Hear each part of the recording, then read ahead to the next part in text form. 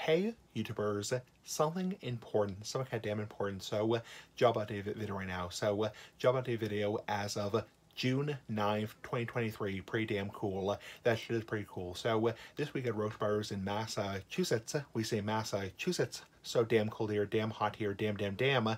I'm working a total of uh, 17 hours. Uh, pretty cool, nice, big, big ass hours like the big ass cigar. Yeah, big ass hours like the big ass cigar, big ass tongue twister for life. Okay, enough of that shit. So uh, Sunday working 3 p.m. to 8 p.m. Uh, Monday working 9 to 1, Tuesday working 9 to 1, Wednesday working 9 to 1, and then Thursday, Friday, Saturday, nothing. let me explain this shit right now. So uh, Sunday working 3 p.m. to 8 p.m., 3 p.m. to 6.30 p.m. I'm bagging, bagging the big ass cigar, bagging groceries. Uh, 6.30 p.m. to 8 p.m. I am doing carts, not farts. Nice big ass carts like the big ass cigar. Uh, Monday working 9 to 1, I'm actually bagging, bagging for a change. So I'm bagging the big ass cigar, you know, bagging groceries, that kind of shit, you know essentially I'm bagging, uh, which is a change for me. Usually on Mondays uh, I do carts, not farts. Uh, anyway, Tuesday we're doing carts all day. Nice big ass carts with a big ass cigar, not big ass farts.